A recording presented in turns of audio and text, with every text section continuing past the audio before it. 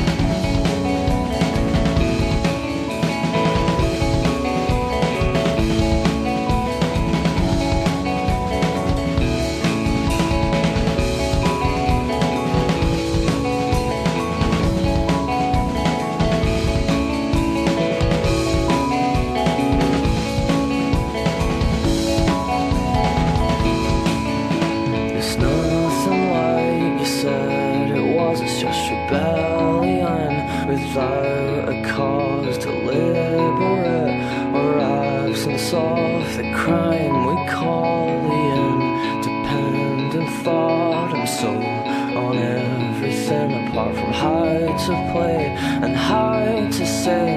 I couldn't tell you how I felt, so drew a picture on a bookshelf.